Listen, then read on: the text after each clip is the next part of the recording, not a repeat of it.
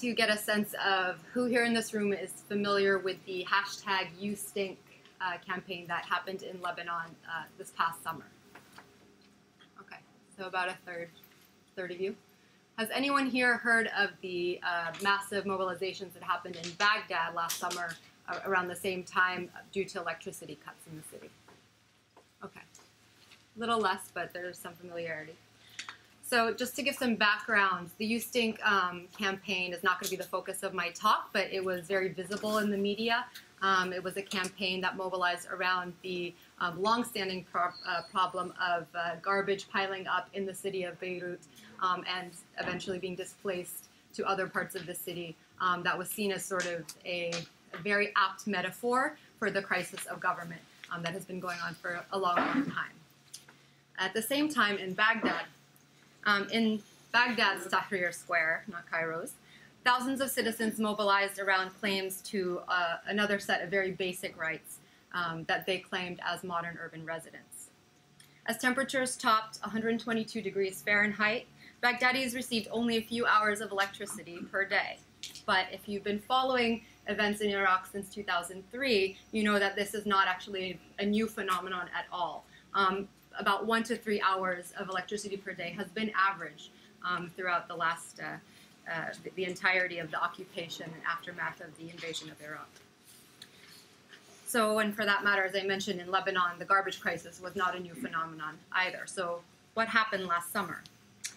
Uh, what, what is new is that this summer, young Iraqi activists who actually identified themselves largely as secular uh, mobilize around the insufferable conditions of the summer heat and use the mass mobilization to get people out onto the streets um, as a platform to demand an overhaul of the sectarian political regime in Iraq.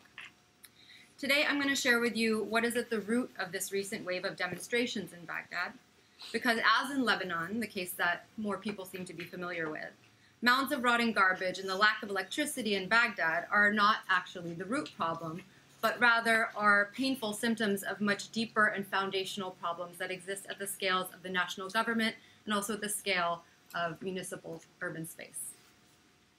This summer, this past summer, young organizers used the immediacy and the unbearable nature of the garbage rotting in their streets and the electricity that was suffocating them in the heat, the lack of electricity, as catalysts for calls to action, demanding both an overhaul of the entrenched sectarianism and also new accountability for the corruption that had been paralyzing people's access to basic urban rights in Lebanon and Iraq, respectively. So, for the rest of my talk today, I'm going to focus on Baghdad. In particular, I want to tell you the story of how, in this city, where citizens have historically organized their political communities and social movements around identities and causes rooted in labor struggles, women's rights, and anti imperialism uh, uprisings, how only in the past decade have ethno-sectarian identities, that is labels of Shia, Sunni, Kurd, have only recently have they been made to matter most of all. Today, sectarian identity has a disproportionate role in determining how a person moves throughout Baghdad, the jobs and schools that he or she has access to, the world in which he or she socializes, and the political parties that he or she votes. Again, I have to emphasize that this was not the case for the majority of Baghdad's residents throughout the entire 20th century. What I'm going to describe today is a 21st century phenomenon and a condition that's a direct consequence of the US led invasion and occupation of Iraq. And I'm going to repeat that because if there's one thing that I want you to take away from my talk today um, and my argument, it's that this is a 21st century condition and a direct consequence of the US led, led invasion and occupation of Iraq. Sectarian based segregation of Sunni and Shia residents is a very recent phenomenon, as I'm saying in Baghdad. It's one that's characterized by the proliferation of concrete blast walls throughout the city, like this one, that it started appearing since um, 2006 in the way that I'm going to describe. Attempts to normalize these separation walls have ranged from military planning, planning rhetoric, calling them the building of gated communities in Baghdad, to subsequent municipal campaigns that were intended to beautify the concrete barriers by transforming them into a citywide canvas for a new visual urban culture of murals, with historical and cultural references painted on them. Meanwhile, local residents have invented creative tactics and temporary solutions to work around, over, and through the everyday obstacles imposed by this new spatial condition of division in Baghdad. As built forms, the walls are more than mere instruments of division. They're actually physical manifestations of, recent, of a recent condition of sectarian based segregation that has characterized the Iraqi capital since 2006 and the Iraqi government since 2003. Before 2006 and throughout the modern history of Iraq, what was normal was for urban residents to live and work together in shared communities, families, and neighborhoods, irrespective of their Shia or Sunni identity. Before the occupation, urban residents could traverse the city without concern over sectarian difference within the population. Indeed, uh, I've heard stories from those who I've interviewed describing the way that uh, Sunni families would celebrate Ashura with their uh, Shia neighbors. Intermarriage was not terribly uncommon between um, Sunni and Shia families. And so, again, just wanted to emphasize this is a 21st century phenomenon um, the idea that Sunni and Shia should not be able to live together. The new political significance and the spatial meaning of sectarian difference has turned the social worlds of Baghdadis on its head. The segregated city is actually unrecognizable to most Iraqis today, I think it's safe to say. So I want to recognize and begin to unpack the deep and long-standing impacts of the U.S.-led invasion and occupation on uh, Iraq and on the city. And I'm going to focus, in order to do this, I'm going to focus on the most dramatic period of transformation of the urban space in Baghdad between February of 2006 and February of 2007. So a quick note on urbanism and our understanding of sort of uh, destruction or uh, the destruction of cities um, or violence in cities at the scale of uh, the urban. So, as distant observers, uh, as we often are, sitting at Stanford, um, studying, thinking about, discussing the, the, the Middle East um, and, and other cities, we digest the idea of the demolition of buildings, the destruction of infrastructure, and the razing of neighborhoods, much like what the world witnessed in Israel's assault on Gaza in 2014, pictured here, as the most visible consequences of wars on cities and the aftermath of aerial bombardments and ground invasions by occupying forces. No one can look at an image like this and argue that this is a, this is a symptom, right, of a violent act of, of the destruction of a city. However, in the context of war and occupation, the built environment also undergoes a constant and sometimes less obvious or less spectacular uh, or less visible process of creative destruction. In other words, a radical erasure and a remaking of socio-spatial geographies through the productive process and political decision making and military interventions, in the case of Iraq, by the occupying forces. As I'll show, decisive and divisive political decision making by the United States occupying government institutionalized sectarian quotas in Iraq's system of government and subsequent militarized interventions in urban space um, by the US led multinational forces, which established a new spatial condition um, of urban segregation in the capital. So, my aim today is in part to unsettle the problematic assumption um, that, that we heard a lot, particularly in the early days of the rise of sectarian violence in Baghdad uh, in 2006. Um, an assumption that, um, that the sectarian based violence and segregation was some kind of inevitable outcome of removing Saddam Hussein from power, or in effect, taking the lid off um, long standing bottled up sectarian tensions. So, to do this, to undermine that assumption, for the remainder of my talk, I'm first going to explain how the decisions at the level of the national government, sanctioned by the US led occupation, work to institutionalize the political significance of sectarian difference. Then I will show how self identified Sunni and Shia parties emerged within this political framework and effectively consolidated territory to transform the city into a network of Sunni and Shia identified zones between 2006 and 2007. And then to conclude, I'll examine subsequent militarized strategies of building concrete security barriers, as they were called, between urban neighborhoods and their effective cementing of segregated enclaves, um, planned according to modern politics of sectarianism.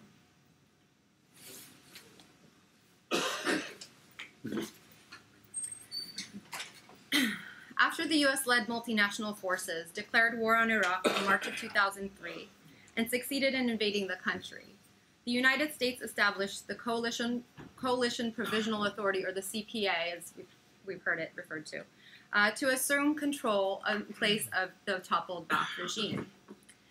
Without Senate confirmation, President George W. Bush appointed Paul Bremer as the presidential envoy and administrator of the CPA, so in a sense, the ruler of, of Iraq following the invasion.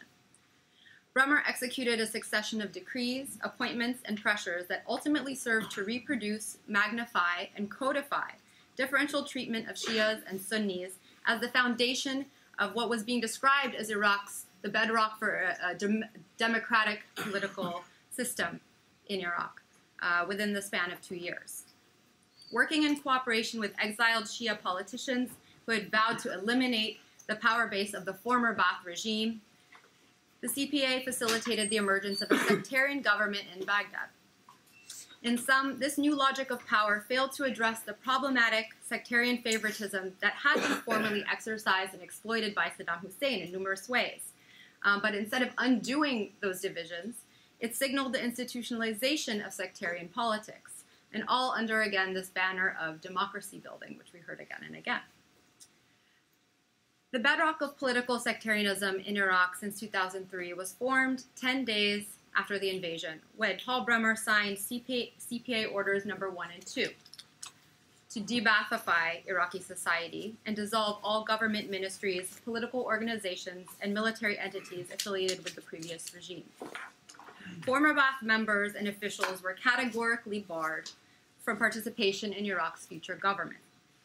Irrespective of their allegiance to the former regime, and uh, Sunnis who had served in the army were economically and politically marginalized overnight. In short, the monolithic and oversimplified approach of deba'athification reproduced differential treatment of citizens based on crude ethno-sectarian categorizations. Sunni Arabs were effectively equated with Saddam loyalists, while Shia Arabs and Sunni Kurdish groups were assumed to represent um, an opposition to the former regime. And this is a critique that members of the CPA have even um, uh, expressed themselves in that in the retrospectively. In July 2003, Paul Bremer established uh, what was called the Interim Governing Council. And this was intended to be the principal body of the Iraqi interim administration uh, that would lay the foundation for a democratic system in Iraq. Uh, he established this without seeking official consensus from any uh, previous or former Iraqi leaders. And the IGC, the governing council, was comprised of Ayad Allawi, who's pictured here uh, in the middle, who would eventually become the interim prime minister and other members appointed according to sectarian criteria, um, according to that sort of overgeneralization I described, um, that favored the previously exiled Shia opposition leaders to Saddam's regime. Membership was determined according to an identity based quota system that predetermined a Shia majority. Consequently, the first general elections in Iraq on 2005, uh, January of 2005 were transformed into confessional exercises, wherein citizens were encouraged to vote according largely uh, based on sectarian identities above else. Political parties um, became identified primarily with one sect or the other. That said, resistance to the CPA's hand in crafting the political future of Iraq came in many different forms, from public demonstrations to voting, bo- uh, vote, voting boycotts. Dissent was increasingly led by socioeconomically and dis- disenfranchised and politically marginalized Sunnis. Again, because of uh, the result of deba'athification policies. The sectarian based boycott of the January 2005 elections by a major bloc of Sunni representatives and voters, represented by the uh, uh, Iraq Islamic Party, the major Sunni Islamic Party, ensured that because of the boycott, uh, there was a victory of Shia leadership, and um, the majority government was in the hands of, of Shia parties that were handpicked by the CPA. The new constitution, drafted and ratified under the new government, worked to codify the ethno-sectarian basis of Iraq's new political system from 2005. And by December 2005, parliamentary elections resulted in a resounding Shia majority government, and attacks by insurgent militias in Baghdad engaged in explicitly and blatantly sectarian discourse um, from that point forward. Early resistance, I should note to the foreign occupation, what we heard about as the insurgency in the early days, um, had initially included uh, both Sunnis and Shia. Um, and so the Mahdi army, controlled by Muqtada al Sadr, and all these groups of disenfranchised uh, Sunnis, which came as a result from de-Baathification, represented sort of a, a broad-based insurgency against the occupation, so an anti-occupation insurgency. Um, however, by mid-2004, um, before the elections, this fell apart, and political sectarianism was was taking root, as I described, through the work of the governing council and the January 2005 elections. Um, so what happened was that uh, leadership of the insurgency fell under al-Zarqawi, who you might know as the founder of Al Qaeda in Iraq. Um, and a self identified Sunni insurgency was then galvanized. So the insurgency itself took on a very sectarian character by 2005. Um, and eventually, the, the target of the insurgency became not just uh, representations of the occupation by the foreign uh, forces, but actually um, uh, retaliation and attacks against explicitly religious Shia symbols, um, places, communities, and uh, I'll, I'll, go into more depth describing that. One of the outcomes of the 2005 elections was also the empowerment of the Shia Supreme Council for the Islamic Revolution in Iraq, um, party that that uh, holds the most power, uh, and they control the Interior Ministry. And um, also, as a result, the militarized arm of the Shia parties um, the Badr organization, uh, has been documented to have used during this period, um, late 2005, early 2006, uh, the police force, so the official forces of the Iraqi government in Baghdad to target Sunni insurgent groups like Al Qaeda in Iraq. So, um, in ways that were not just about counterinsurgency strategies, but took on a very dark uh, character. And I can go to more depth in the discussion to describe those if you're interested. In general, bombings, kidnappings, and assassinations in Baghdad, previously that were driven by a generalized resistance to foreign occupation, became explicitly linked to sectarian based militias working either with, in, or in resistance to the newly formed Iraqi government after the 2005 elections. Sunni and Shia insurgent groups identified and targeted vulnerable communities, families, and individuals according to presumed sectarian identities and by early 2006, militia groups began to divide Baghdad into Sunni and Shia identified zones through a violent and systematic strategy of internal displacement, which I'll describe in some detail. so, this is February of 2006. Um, this is this is the event that sort of marks the period of the rise um, of sectarian-based violence that completely transformed Baghdad. So it's sort of the uh, one of the major catalysts, we can call it, for the period I'm going to describe moving forward. In late February 2006, militants detonated explosive inside the Al Askari Mosque in Samarra, which is near Baghdad, demolishing the golden dome of the sacred Shia shrine. Um, this photo appeared everywhere in the New York Times, The Guardian. I mean, it was it was really an image that um, was circulated around the world, um, and for a good reason. This attack was the most spectacular incidence of sectarian based violence witnessed to that date. The Shia controlled Interior Ministry and paramilitary Mahdi Army, uh, the paramilitary force that belonged to the Shia cleric Muqtada al Sadr, retaliated this uh, event with a citywide campaign of attacks that were targeting uh, Sunni militia fighters as well as civilians. So it took on a new character following this, this uh, event. Muqtada al-Sadr also set in motion an aggressive campaign that sought to establish Shia majorities in areas of the city controlled by his paramilitary as a means to amass political as well as economic power in the capital. In addition to armed militia and uh, armed militia conflict and political assassinations, territorial expansion involved strategic practices intended to eliminate Sunni or Shia civilians from designated areas of the city. So, as I'm saying, it changed from uh, explicitly sort of a militia based conflict to one that really targeted everyday people in their everyday lives who maybe had nothing to do with directly affiliating with any militia um, and forced them out of their homes. Um, this is a map of Baghdad prior to February 2006. Um, and it illustrates a predominance of what we call uh, mixed neighborhoods as a very sort of retrospective term. So the normal kind of heterogeneous neighborhood that you would find in Baghdad, represented here in orange, um, would be one where you would find, you know, approximately equal uh, distribution of residents of Sunni and Shia families and households. Um, in green, you see areas that you that were described um, and documented as being predominantly, but not ex- necessarily exclusively, Shia in green. And the red neighborhoods were areas that were predominantly, though not necessarily exclusively, populated by Sunni families.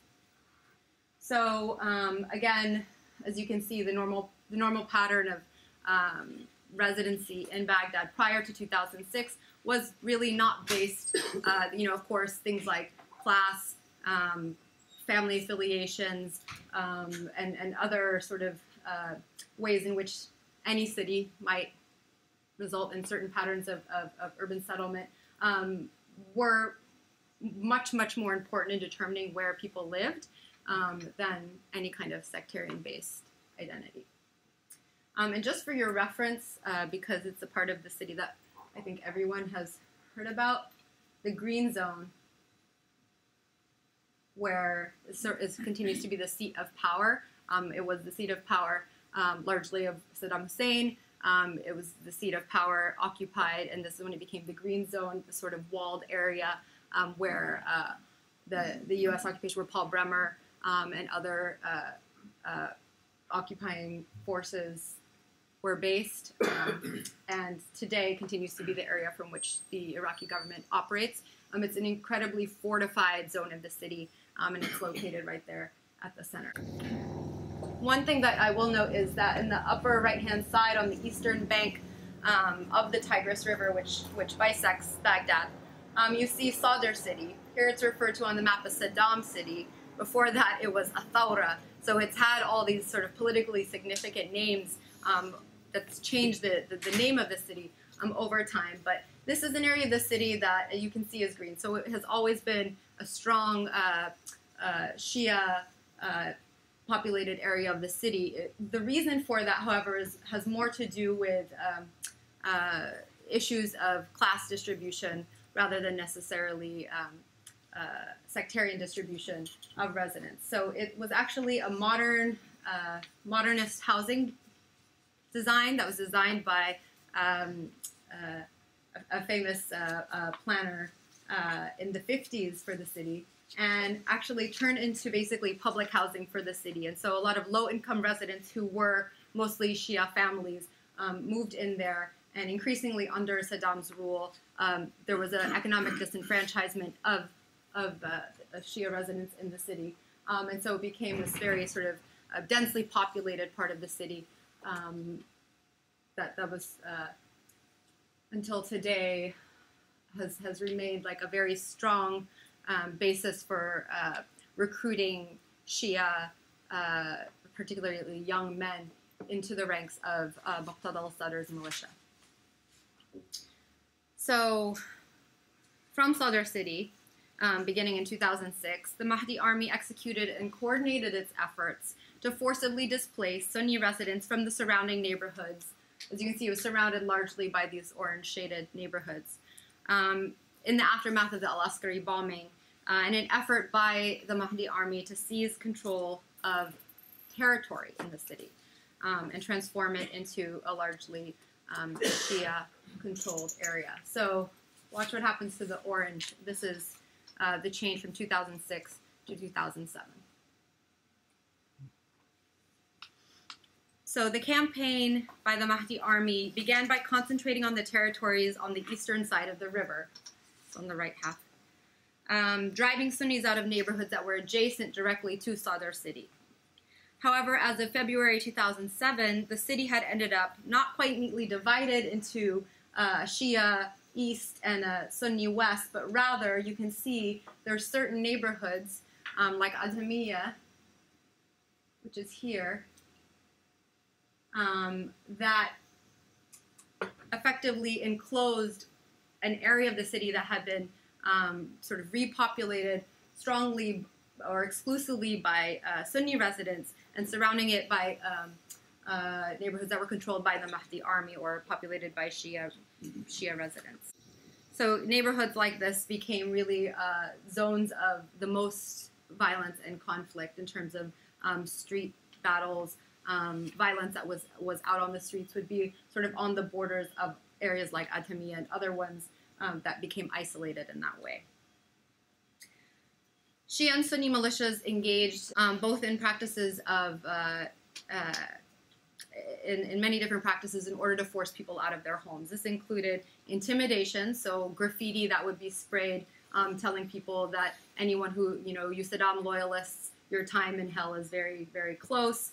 Um, asking that people send their sons to, to be part of the militias, um, as well as kidnapping. Um, women really were uh, primary targets for this kind of thing, so women increasingly were not able to be out in public during this period as much because they were really targets simply because they were women um, uh, of kidnapping. Um, murder, the killing of of individuals and uh, other forms of violence. Um, and these were means to drive out civilians identified with either sect from their homes. Um, the practices were carried out as explicit strategies to segregate the urban population according to sect. In Baghdad, death threats, bombings, kidnappings, and widespread fear forced the eviction of more than 400,000 Iraqis from their homes in this period, one year. Displaced residents who remained in the city, city typically moved to different neighborhoods. Um, so it was internal, a phenomenon of internal displacement largely during this period. Um, so they would move to a different neighborhood that had come to, under the protection of a, of a sectarian militia that they could affiliate with. In general, Sunni residents fled to the formerly mixed neighborhoods that Shias had left, and vice versa. Um, and reportedly, uh, although there were massive protests. People were, were doing, by any means necessary, trying to find a new place to live. So there was a lot of squatting of public buildings, schools, institutions. Um, there was also uh, occupation of, you know, someone who lived in a safer, relatively safer neighborhood or a protected neighborhood would invite other families to come live with them. So three families living in one home at a time. Um, sort of these temporary measures. When it became clear that this was this was not an issue that was going to be resolved very quickly. There were massive demonstrations, calls to the government to do something about the housing crisis um, and, uh, and insecurity. Um, and it's actually the Mahdi army was probably and local militias were most effective in addressing this, and they worked with local mosques to actually um, resettle families who had been displaced from one neighborhood into the homes of the families who had left that neighborhood. So coordinating um, that level of sort of relocation at the neighborhood scale. While the Mahdi army campaign continued to expand its control westward, Sunni militias managed to keep control over a few key areas on either side of the river. And by early 2007, an estimated uh, basically two thirds of um, Baghdad's total population of 7 million reportedly lived in areas dominated by a single sect. So if you compare that to this map, and you consider that 75% of Baghdad's population lived in sectarian based neighborhoods after 2007. As a result, residents across the city were cut off from normal access to jobs, education, and social networks, and forced to carve out new patterns of everyday life. Sectarian militias set up armed checkpoints, um, imposing random searches on individuals and automobiles. Paramilitaries often assumed a driver's passenger, uh, driver or passenger sectarian identity um, based on their name alone. So checking someone's ID, they would say, oh, he's Shia, he's Sunni, for example. Um, so in order to subvert that kind of militia surveillance, Iraqis increasingly acquired and carried two different jinsiyah, these ID cards. One would be an actual government-issued ID card, and the other would be a fake ID that had their picture but with a name that could be identified with the other sect. So depending on which checkpoint they came upon, they would deploy one ID card or the other. Not only fake IDs, but also official name changes, fake license plates, religious bumper stickers, and mobile ringtones um, served as markers that were used to manipulate the sectarian identity or the presumption of sectarian identity um, and increase one's mobility within the segregated city. By early 2007, U.S. military authorities identified isolated Sunni areas such as Adhamiya and Dora and Hurriya as some of the most targeted and hostile parts of the city. In April, of 2007, the U.S. military announced a plan to construct walls around these and other Sunni neighborhoods. So, briefly, um, before 2006, walls were still characteristic of the occupation from the very beginning. As I mentioned, the Green Zone, um, a heavily fortified part of the city that protected um, occupying uh, establishment and military build, uh, ministry buildings um, from uh, attack by the insurgent, the anti-occupation insurgency. Um, also, uh, central markets, hotels, and universities were surrounded either by barbed wire or blast walls, these sort of segments of walls, um, in order to keep out um, attacks and deter bombs. However, following the rise of sectarian based displacement and the consolidation of militia controlled territories in 2006, the US led multinational forces announced their plans to proliferate the walling strategy throughout the city um, into the neighborhoods of Baghdad, mostly on the streets that bordered the newly isolated Sunni and Shia areas, so areas like Adhamiya. David Kilcullen, uh, who is a senior counterinsurgency advisor to the multinational forces in Iraq, described plans to construct uh, these walls as the building of gated communities, um, using something that we think of as being sort of benign, uh, part of our everyday lives here in the US. Um, but these were going to be constructed uh, out of barriers of 12 foot high, 14,000 pound T shaped concrete segments um, that were used in order to reduce sectarian based violence in what he described as three important ways. First, making it more difficult for terrorists to infiltrate a community, so protecting that community. Also, by making it more difficult for the terrorists in that community to launch attacks on other communities. And third, by protecting the gated community against any kind of retaliation, reducing fear, and incre- increasing cooperation with multinational forces. So this is from um, 2007, and this is, again, just like a snapshot of time. So at that time, these are all the different neighborhoods where the construction of these, uh, these walls were documented.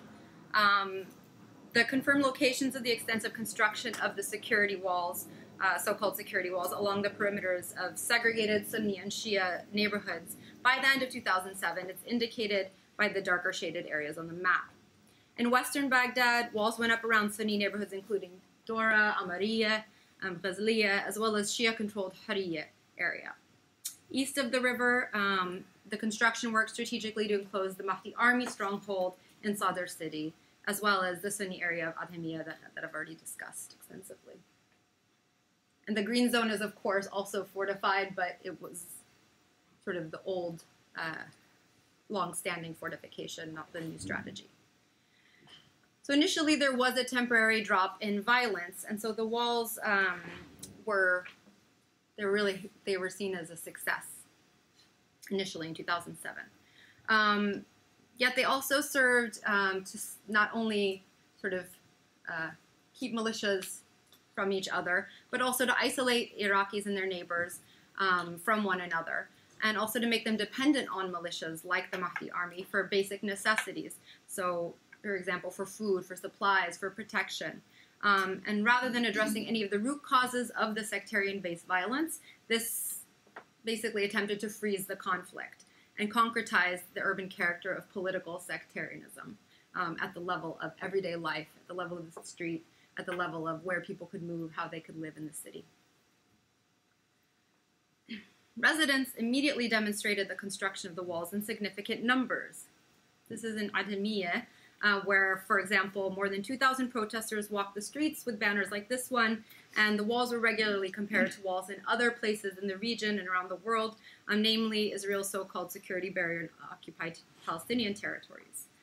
The walls enclosing the segregated districts were punctuated not only by a limited were punctuated only by a limited number of entrance and exit checkpoints um, that were monitored around the clock by Iraqi policemen. So this is a different layer of checkpoints in the city in addition to the ones that the militias controlled within neighborhoods. Now you have these walls that are controlled by um, the police force checkpoints And so, as you can imagine, everyday issues, like if you can imagine the traffic on uh, Sand Hill Road times 1 million. um, and obviously, the fear and anxiety around um, something happening, an incident happening while you're stuck in your car in traffic, the, the experience of being in the city um, is unfortunately dominated by, by that sort of sense of anxiety, um, really affecting people's decisions about where to go and priorities about um, how to move throughout the city. Checkpoints serve to aggravate all these conditions, um, and in effect, the flow of economic and social interactions is often confined to the territories designated by the system of barriers, changing the habits that, that people have in their everyday lives. For those Iraqi civilians living in the city of walls, the sight of endless barriers and oppressive concrete blast walls that flank the checkpoints, surround buildings, and obstruct roads served as a quotidian reminder of the violent transformation of their city, of the occupation, and of sort of the lack of representation that they had had in any kind of new political process. so what do we do? We paint them. Caecilia Pieri is an architectural and urban historian um, of Baghdad who's done tremendous work documenting a mun- municipal beautification campaign that was initiated, initiated in uh, 2007, very shortly after the, con- the construction of these walls. The campaign initially commissioned artists, Iraqi artists, to paint colorful murals on the walls as a means to normalize the ubiquity of the gray cement objects that uh, had become sort of the new urban furniture in Baghdad.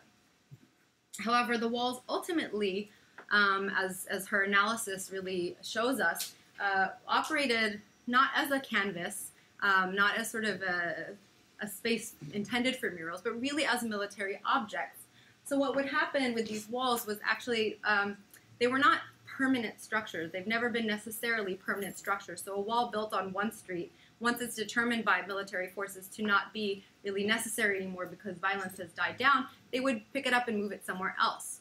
So when they would do that, they wouldn't necessarily put the murals back together as they had been intended mm. by the artist. So you would get a horse's head somewhere it didn't belong, for example um, really uh, exposing the nature of these as military objects, um, and despite the attempts to sort of beautify them um, and, and uh, camouflage them um, as urban art. It's also important uh, to note that the walls had also been appropriated by local militias um, for use in um, however they saw fit. So they would actually paint, for example, at a checkpoint, sort of how to uh, what to do when you arrive at a checkpoint, instructions with some visual um, uh, sort of uh, icons to, to help people uh, make it more expedient if people passing through. Um, or, for example, like the French ministry commissioned its own, uh, the French consulate commissioned its own murals um, on the blast walls. the CPA's purported mission, um, and I'm going to sort of start to wrap up here, um, to initially restore conditions of security and stability and create conditions in which the Iraqi people could freely determine their own political future was clearly undermined um, since 2003 by the assumptions that were made about the Iraqi population and particularly um, sectarian identity.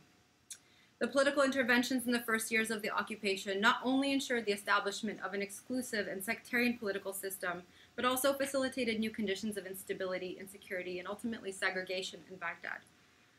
Poignantly, residents in Baghdad nicknamed these concrete barriers Bremer walls. the walls and the spatial condition of segregation continues to characterize the city until today.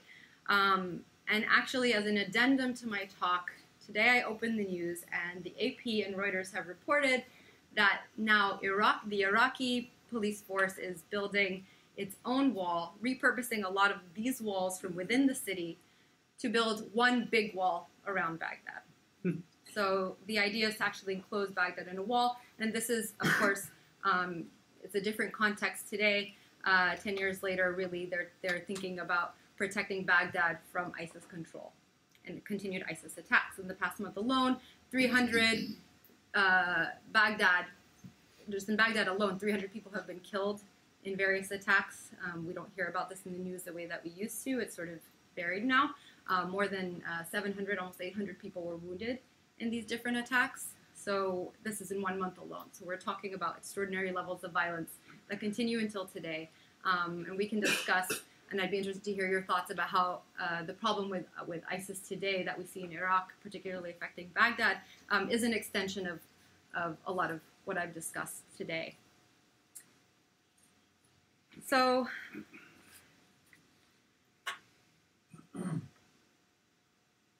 I'm going to wrap up actually with just one more one more thing, which you might find interesting. Um, just in light, uh, because I'm, I'm still sort of digesting this news about the wall that's being constructed around um, Baghdad, but what it brings to mind is that um, when Baghdad was initially founded uh, by the Abbasid uh, Caliph al Mansur in the 8th century, it was founded as a round city that was completely fortified by one wall. Um, and this was because the caliph was completely obsessed with the idea of security and his actually his own personal security. Um, and so it was, it's founded as um, Baghdad Medina al-Salam, so the city of peace. Um, and he was convinced that this was going to be the perfect solution. So he built a wall perimeter, around the city. Um, ultimately, he discovered that he had built himself into a prison. Um, and there was an assassination attempt on his life, and he ended up actually leaving the city.